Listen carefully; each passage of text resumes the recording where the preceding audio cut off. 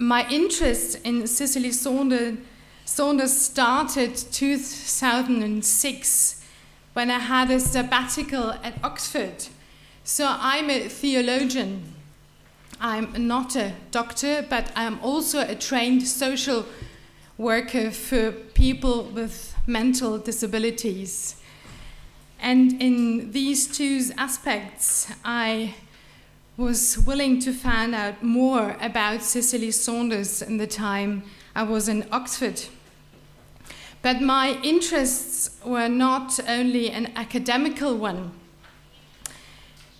I'm a theologian and a pastor, ordained pastor, and I be with dying people and their families quite often. At the moment, I live in Basel, surrounded well, with a lot of hospitals, two hospices, and um, a growing population of elderly people. And I try my best to be connected with their needs and try to give an answer in the way I can do as a Christian, as a pastor, and a theologian. I could easily start this morning with a lot of theory and research work I've done uh, the last years on Cicely Saunders, but I rather like to start with the Saunders story. And perhaps you know the story quite well. This is a story quite vital to Cicely Saunders' theology and spirituality. And after this story, we will get into a more theoretical discussion. I would like to take you with me in the year 1947. So it's a long time ago for you as young students. Just two years after the Second World War. And Saunders, as we know, was then a trained nurse, a social worker, and a Christian. And she met David Tasma in St. Thomas Hospital, a Polish Jew who survived the concentration camps. He was in his 40s, alone and very ill, not knowing much, not knowing how much time he would have until he would die. And Saunders talked to him very openly. And when he was asking if he had to die soon, she had the strength to tell him the truth. After a few meetings, he told her a lot about his life and beliefs. And he was very open to tell her about his Jewish faith and his questions. So Saunders was not very sure what to do. Was it her job to discuss religion or spiritual questions with a patient? Was it all right to tell a patient about her inner hopes and doubts? But he, David Tasma, kept on asking her if there was such a thing as a real consolation. And she offered to him to read from the Psalms, which is a common ground for Jewish and Christian people. But he refused. No, I only want what is in your heart and mind. So Saunders was forced to listen to her own spirituality. So consolation was not a pill or morphine which she could take from a cupboard. He had to do it had to do with herself and with her inner beliefs and hopes. So Saunders started to read a lot of theology, philosophy, psychology, and discuss that with friends over decades.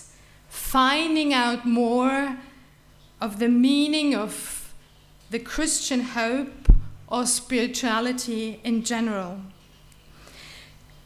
As you perhaps know, David Tasma died and left her 500 pounds with the wish to build a home, a place for people in need and dying. It was the beginning of an intensive journey to combine the spiritual and the medical vision to build a stopping place for pilgrims, she said. So, after hearing this vital Saunders story, we could ask ourselves okay, we have all these letters and we have all these work, research work done, and we have a lot of material how can we find out a little bit more about her spirituality, her spiritual journey? This is not very easy.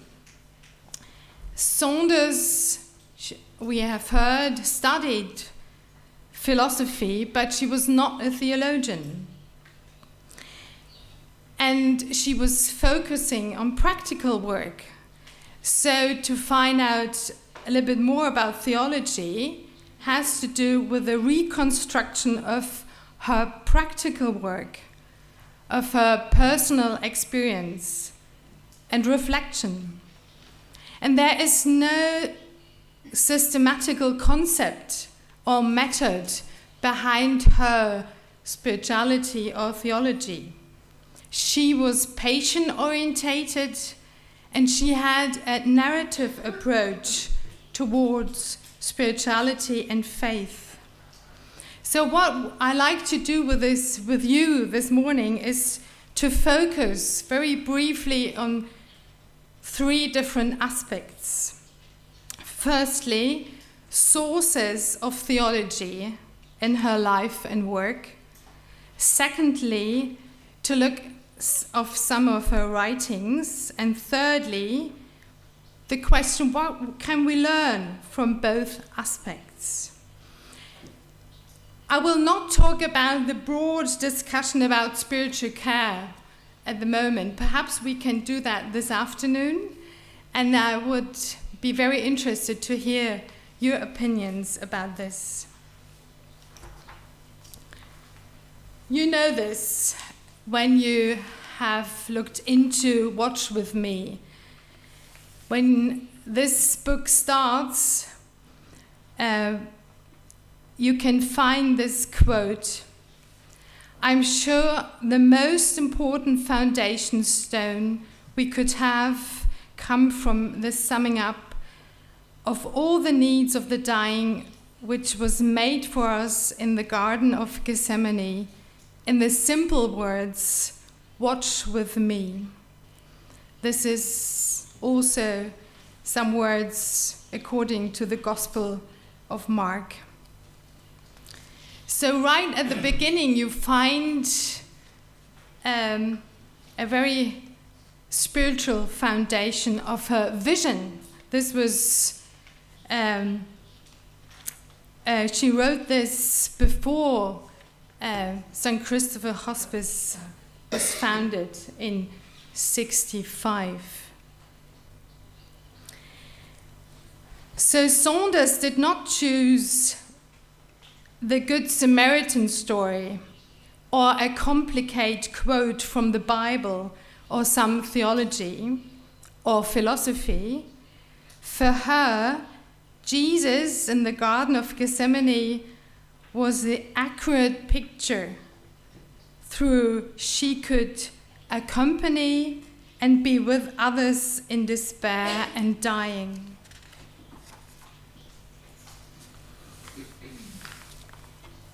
I'm very fascinated about her life, and it has a lot to do with different uh, movements she made um, through education, through relationships, through family members.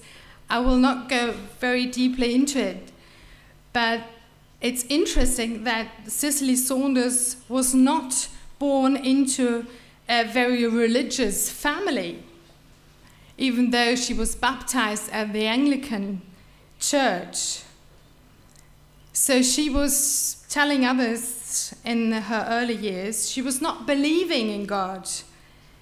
And she went through many years of loneliness herself, doubting and hoping, and not sure which way she should go, and not sure in whom to trust and what to believe. There was perhaps an aunt, Aunt Daisy, and a few colleagues, but she had not much contact to the Christian faith, faith for a long time. So, in a very deep personal crisis, she felt that God was touching her. And she wouldn't be Cicely Saunders if she wasn't willing to put a lot of energy into her search of meaning. And I'm always amazed how much theology and philosophy she read, not only in her early years, but also until she died. And it would be a research area just to focus on her approach to art or aesthetic, like music, painting, and um, other spiritual uh, ground like poetry. This would be very interesting in the future. So now you see Saunders as a very young nurse and Saunders in St. Christopher's. Saunders was not going only through a wartime, which seems for us now and here a very long time ago, and a difficult period of professional trainings. She always volunteered in different hospitals until she had her own St. Christopher hospice. So care was for the dying was more than a job for her. It was her calling. And when she met David Tasma and others, she was convinced she needed to do this in the Christian tradition of discipleship. A calling to welcome people in in the spirit of friendliness and wisdom that every human being is important in the eyes of God and especially those who are weak. We spoke about the four dimensions, uh, and you can see this, and we heard about the development. And I think one of her strong points is that with her calling in the background, she could focus on the patient's needs. Through her dedication and studying, Saunders discovered the four dimensions. And I like to quote just one sentence. You matter because you are, you matter to the last moment of your life. And we will do all we can to help you not only to die peacefully, but also to live until you die.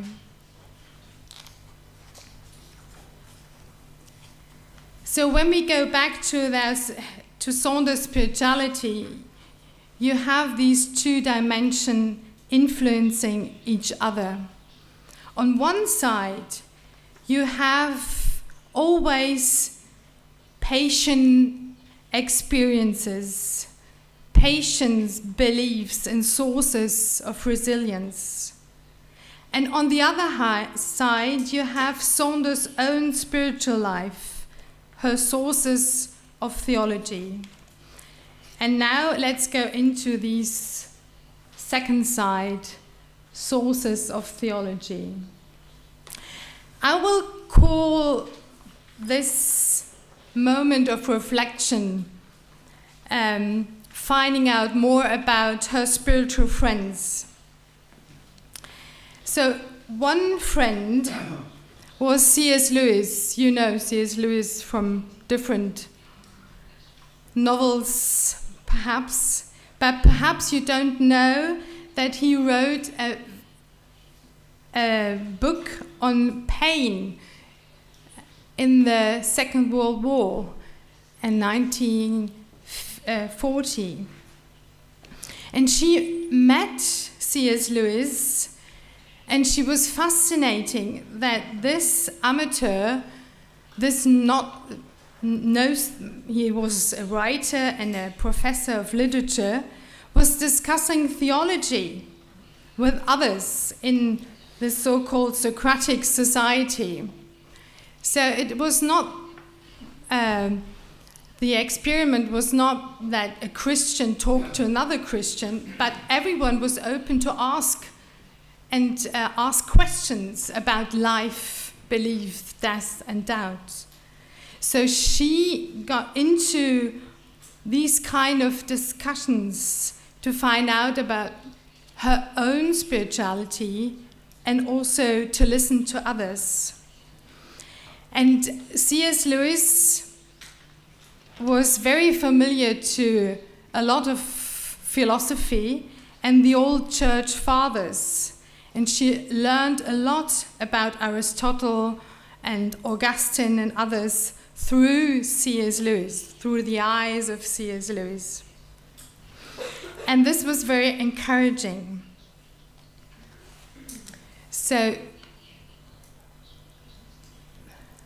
another spiritual friend was Olive Wyon. Olive Wyon was a Scottish theologian and they were really close before St. Christopher's was founded. So they discussed uh, spiritual matters quite often.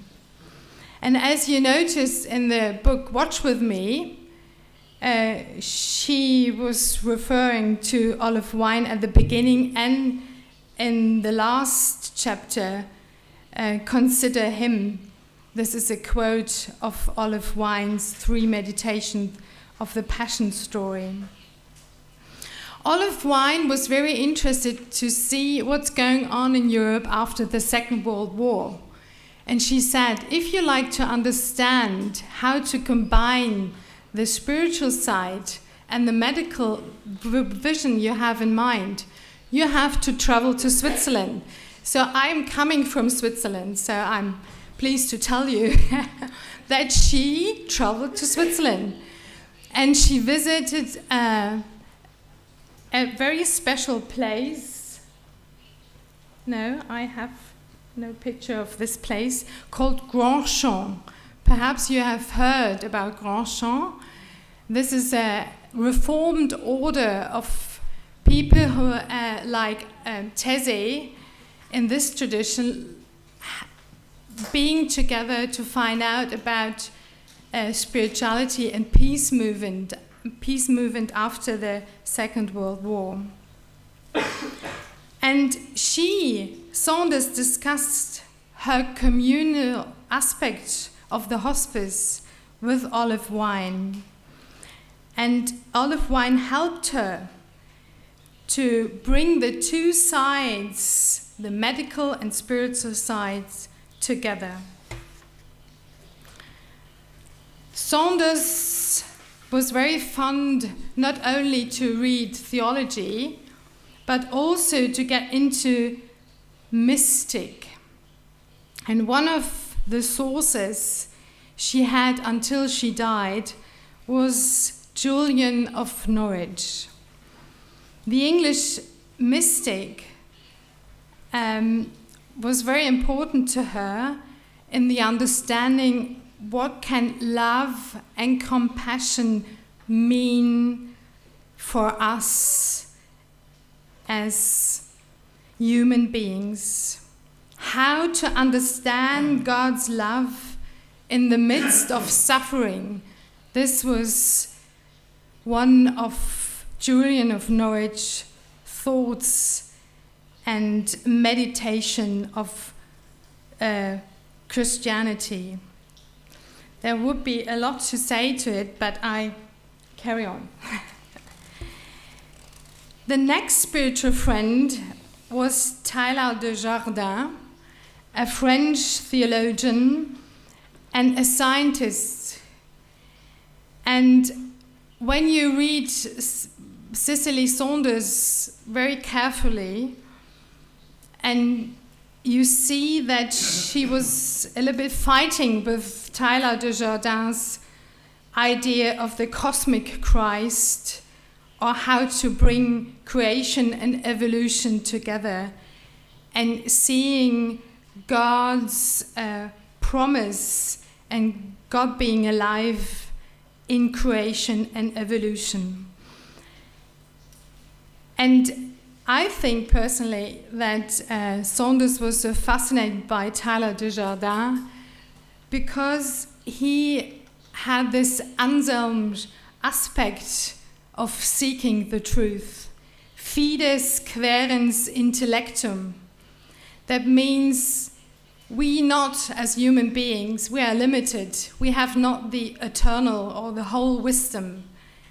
But through our wisdom, of life, our aspects of spirituality, we are capable to face the others and trying to get into a search of meaning.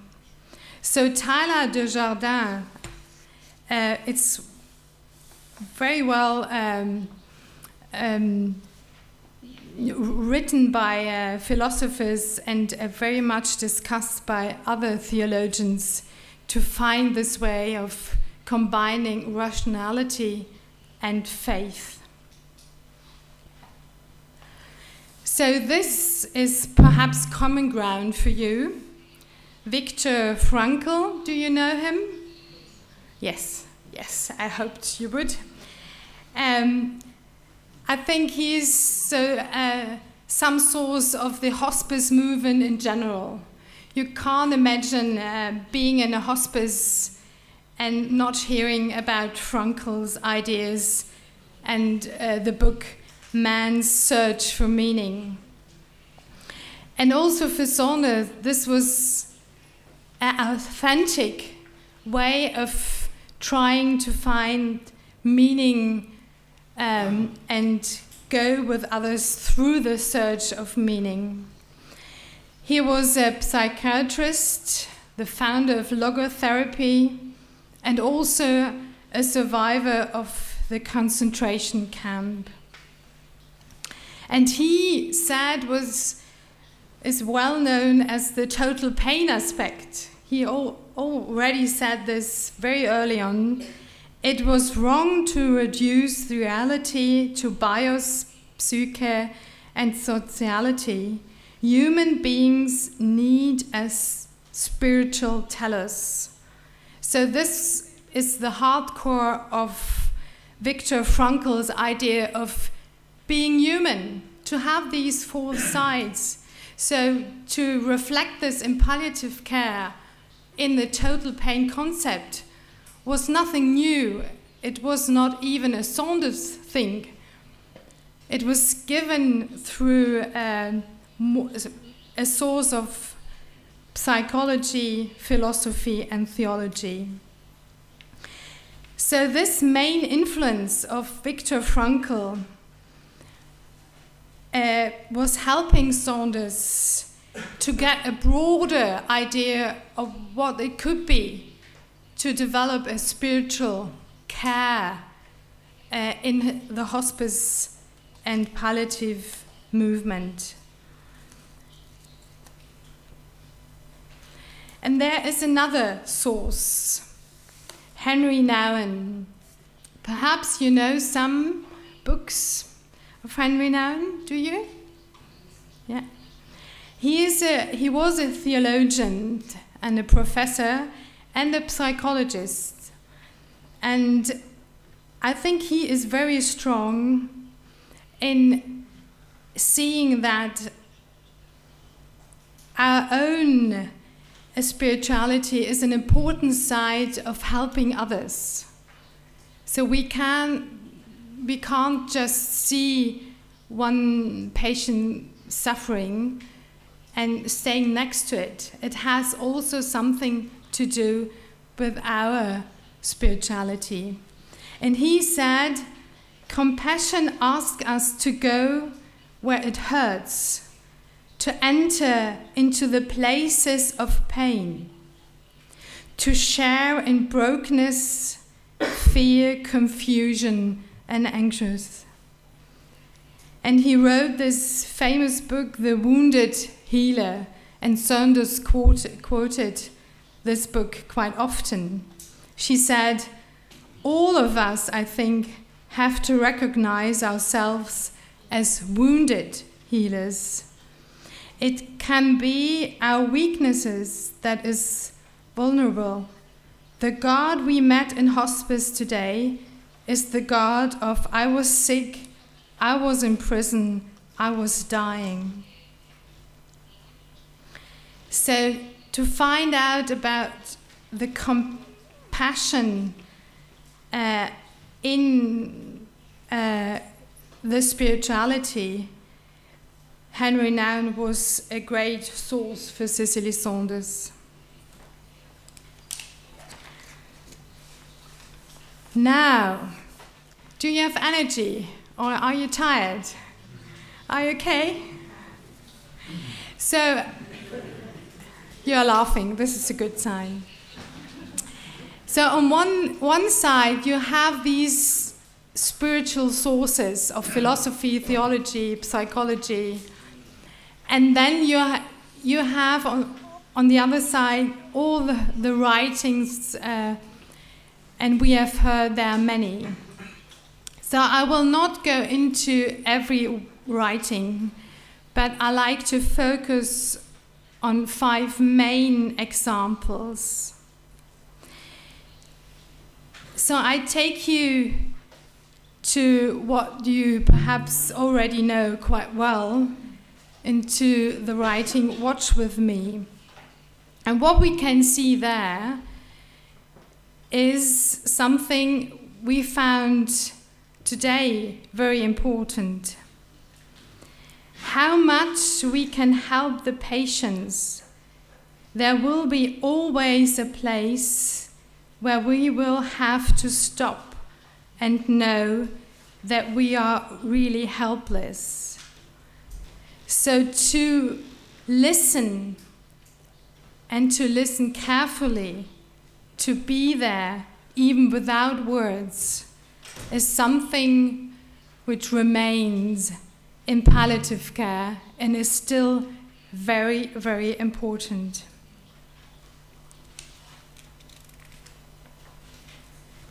Now it comes, Grandchamp. And this time she wrote this article. She had a very intensive contact to the community in Switzerland. And if you come to Switzerland, this is the French part and a very beautiful one, and you still find old sisters which say, Oh, Cicely Saunders, yes, uh, I remember that we had a lot of contact with her and St. Christopher's. The second writing in this book, Watch With Me, uh, called Faith. And here again, you find things which you find very helpless in your own studying and learning about palliative care. So, to listen to a concrete life story is very essential.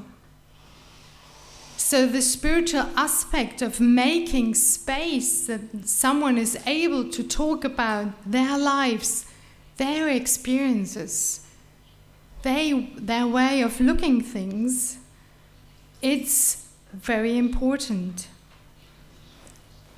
And Saunders describes that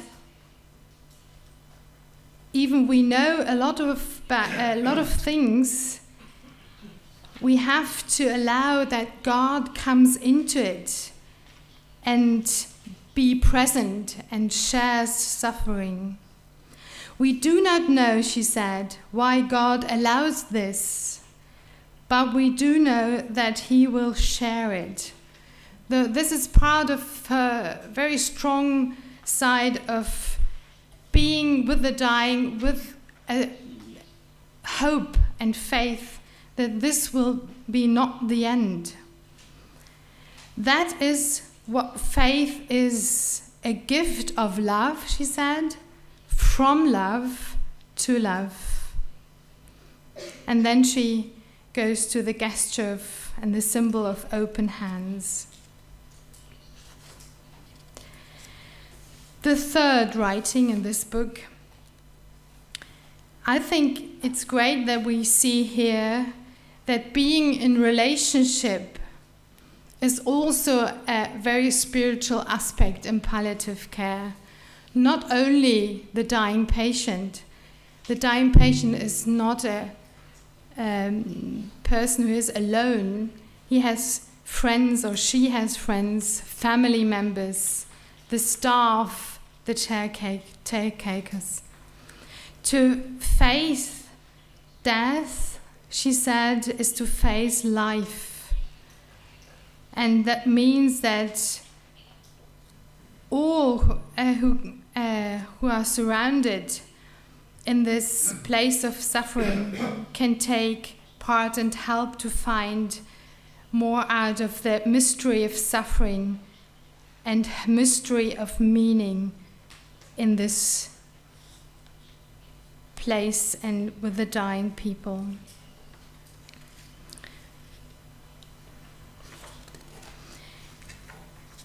I just like to mention one aspect in the personal therapeutic journey in the fourth writing. It, it soon became clear that each death was individual. And I think this is quite important for me to see, and also about the discussion how we can understand the process of dying there is no scheme, um, no clear structure of dying. She said, each way is different. And uh, thinking of uh, other discussions like Kübler-Ross um, and um, perhaps new way of understanding the process, I would refer to her that each individual has a, a special way to say goodbye and to let go.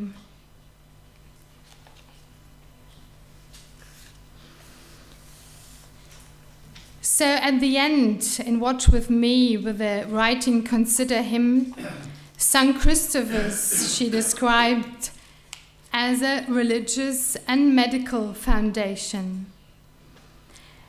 And she repeats um, telling and uh, discussing spiritual friends and sources of her theology. And she said Christ for her comes sometimes incognito to meet those dying.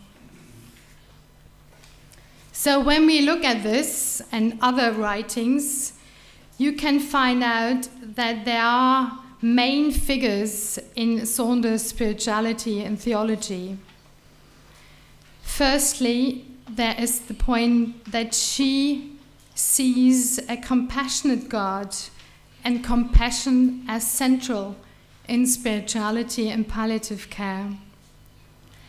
And she sees the need for community for human beings and for friendship to feel free to go on the search of meaning.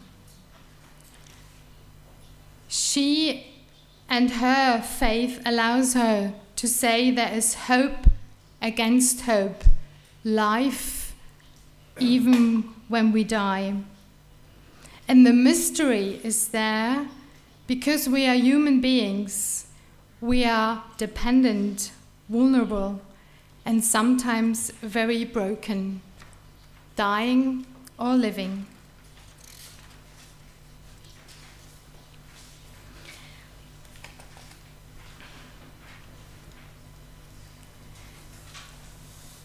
I looked at different writings in especially the book David mentioned in the selected writings not only to refer these main aspects to one book or one selection.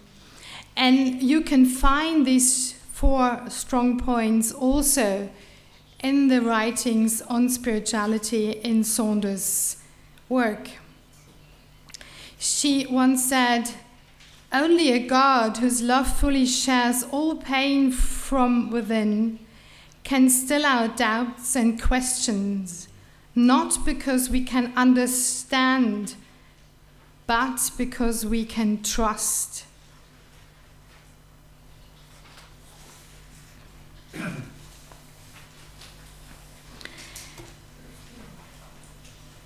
I think community and friendship is something we need as human beings wherever where we might be or live, especially at the end of our lives. And she said, the dying need the community. It helps, it's help and fellowship. The community needs the dying to make it think of eternal issues and to make it listen and to give to others. So if we and you take care of the dying, it's an important part to bring in the search of meaning, the eternal issues into everyday practice that you matter until you die. A community has not only room for sorrow and grief, but also for joy and when I read and listen to Saunders, especially the films and interviews, this is very wonderful to see that there was always time for having a birthday cake, singing a song, or uh, having a laughter. And I, I remember telling, uh, seeing her singing with even patience and uh, reflecting on uh, music pieces with them. So it was not a place where you were only confronted with uh, sad stories, uh, but with life and uh, with uh, community, communal issues, also very much of joy and laughter.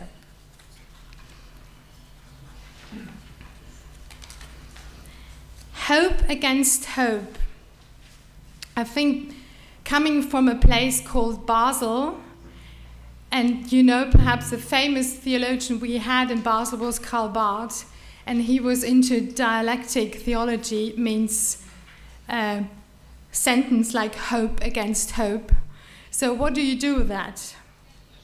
It's difficult to understand, but it means that even on a place where you have only darkness, you can trust there is light, there is God, there is life and to bring uh, these two aspects, which are not easy to bring together.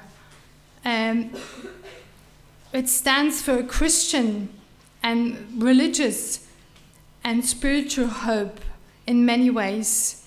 Hope against hope means for Saunders that the Christian believe in a Jesus who suffered, and a cross, which is the center of all centers, she said, the place where time and eternity meet, and all our griefs are transformed.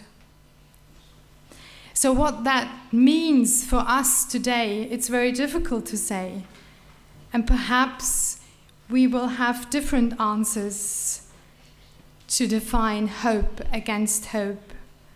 But for her, her foundation was very linked to the Christian faith and the hope that in Jesus, in the suffering of Jesus, we can see uh, God's love for us.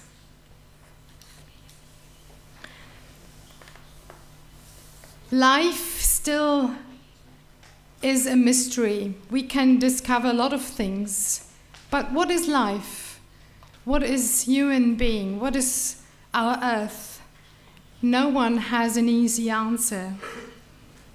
Human life is first and all not something we produce, but a mystery and a gift. And God's story can help us to interpret different aspects of life and give us a better understanding of what it means to live our life, lives in something deeper and bigger than ourselves. The story of Jesus remains a scandalon in this world, a suffering God who likes to share our own brokenness, a God who gives hope where we see only death and dying a God who tells each one of us that time and eternity are not only a philosophical topic, but a reality, and gives us space for faith and trust, so that this kind of spirituality can invite us to have hope even when we have to face suffering and loss. So, what is religion and spirituality? And when we think of Cicely Saunders now, is it a strange Christian concept? In Switzerland, you have the idea to quote Cicely Saunders, but without thinking of her as a Christian.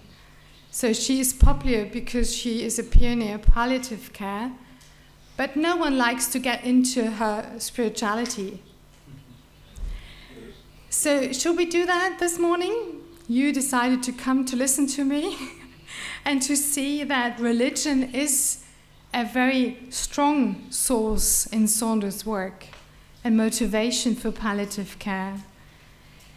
But she has not only a religious side of thinking and sharing spirituality, she has also a source to see spirituality as a very human, universal aspect for everyone, for every human being. She can see spirituality as becoming, connecting, finding meaning and transcendence without a particular religion and philosophy. So, the strong point of Cicely Saunders for the palliative care movement is that she has both sides. She can refer to a religious background, but she can also say, this is not the only way to look at it. There is more to say than to a special uh, to refer to a special source of religion.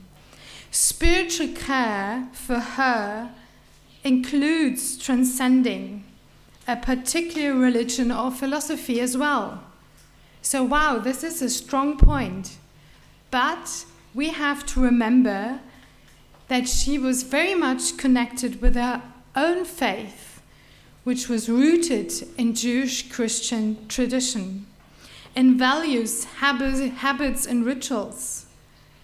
So, there are many interesting little stories I found out in the archive in Lancaster that she had she kept all different um, little um, prayer notes and letters and Bible quotes. And if she started uh, to found St. Christopher's, she every day had a special Bible quote. In the daily light, she uh, was making notes what she find out on her spiritual journey. So you on one side you have this strong approach to Christianity. On the other hand, she was aware that life is a mystery and if God is alive, he will touch the suffering and the dying wherever they might be and this transcending all we know and can put in concept and doctrines. Main aspects of Saunders' spirituality and theology. I think one strong point is the universal aspect of spirituality.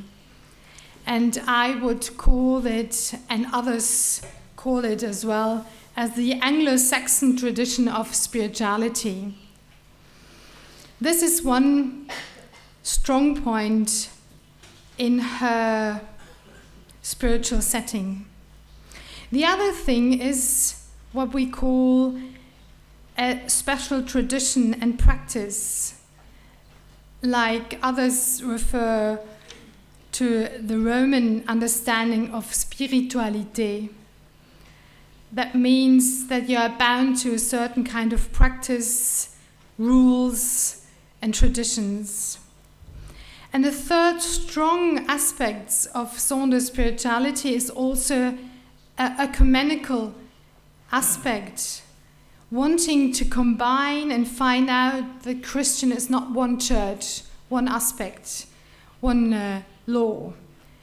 There is something behind the Christian mystery combining different ways of looking at it, an ecumenical openness to different practices, even in the Christian environment and tradition.